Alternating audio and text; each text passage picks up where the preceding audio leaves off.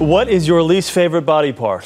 A recent survey found a great majority of Americans feel it's their stomach and that jiggly belly fat that builds up as the years go by. It's unsightly, potentially dangerous, and very tough to lose. But guess what? We have some good news here. The editors of Prevention magazine say they have found the science that can help end the scourge of belly fat. And their solution is in their new book, The Flat Belly Diet.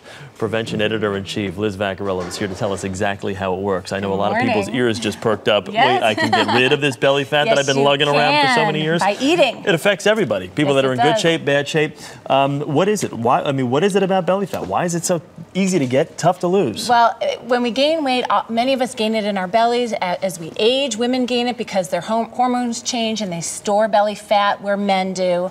Um, and it's also the most deadly fat you can have on your body. Even small excess amounts of belly fat can up your risk of heart disease, diabetes, dementia, and Yeah. even certain kinds of cancers. Why is belly fat though worse than other fat that you would have on other because parts of your body? Because it surrounds the organs. It's called visceral fat, and it's and the hormones are interacting very closely and very dangerously with the organs in your body. Okay, now you say that there's actually a diet. You can eat healthy meals. You can eat good stuff. You've got some chocolate here that we see.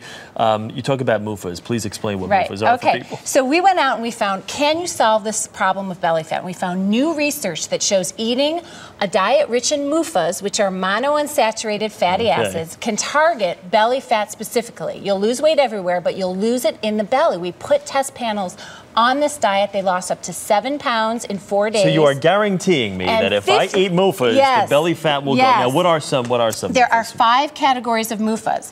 Oils, so olive oils Okay. and flaxseed oils and oils rich in monounsaturated fatty acids.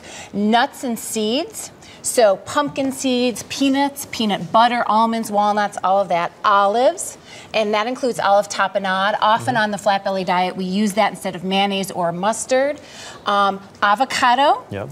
And finally, dark chocolate. Really? Yes. So chocolate is actually dark chocolate, yes. So you're going to tell me I can eat chocolate and I can lose belly fat? That's right. This is all about. There are three rules to the flat belly diet. One is? is to eat every four hours. Okay. The next is to eat four 400 calorie meals. So this is a calorie controlled diet. Okay. And then you have a MUFA at every meal. And scientists now know or think that this is what this MUFA magically lets you reduce belly fat in particular. You never thought you can spot reduce, but now they're finding that That's the incredible part about it. To think that you can actually narrow it down to a region. Stress is also involved in yes, this as well. Yes, this is the, the diet is about food and attitude. So when we're stressed, we have an increased level of cortisol in our body. And Yep. that not only makes us hungrier and crave sweets, but it makes us store excess calories as belly fat particularly. And I think what people also need to recognize this is not just a male problem or a female No. problem. I mean, it affects everybody. It affects all of us. We all want to look better in our jeans, but we also want to be healthier. And this is oh, the belly fat is the most difficult to, to reduce, and this targets it specifically. We're obviously right on the heels of Halloween. You talk about emotional eating. Yes. People are surrounded by Yes. candy right now where the kids are probably still sleeping. In some Right. households, the parents are in a bad mood or whatnot. I had a rough right. week at work or the market. They're looking at and they're throwing down Kit Kats. Right. Well, on the flat belly diet, we ask you not only to keep a food journal about what you eat, but also why you're eating it. Many of us use, eat for uh, reasons other than hunger. Yeah. So that's one of the things that you do both in the book and on flatbellydiet.com. And just these meals right here, I mean, I, I look at this and I say to myself, okay, popcorn, it's got some, some walnuts Right. in there and it's, it's got cashew chocolate and drizzled chocolate it. drizzled, drizzled popcorn. That's a wonderful snack. Kids and adults can eat it.